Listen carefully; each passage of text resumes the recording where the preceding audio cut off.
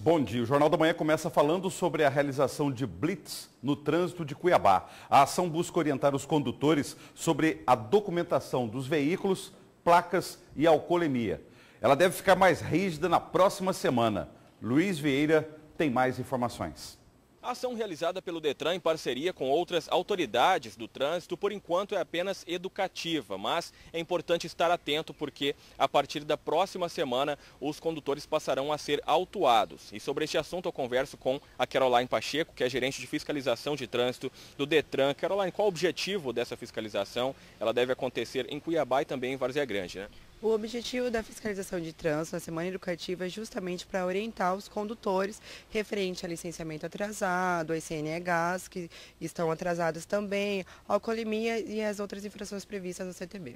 Agora, como que vai ser, como que vai funcionar essa fiscalização, o que, que vai ser observado durante é, essas blitz que acontecerão na semana que vem? Então, acontecerá da seguinte maneira. Faremos as abordagens como se fosse uma blitz mesmo, normal, mas ao invés de autuar, de lavrar a, as multas e tudo mais, a gente vai orientar os condutores. Vai ser entregues todos os panfletos para eles autoavaliarem como eles estão sendo na, em questão de conduzir os veículos e tudo mais, e vai orientar o pessoal como que eles podem podem regularizar, virem aqui ao Detran e a questão do, do veículo mesmo. Agora, qual a orientação para as pessoas é, a partir de agora em relação à documentação, até para é, que não, não sofram consequências aí por conta de irregularidades?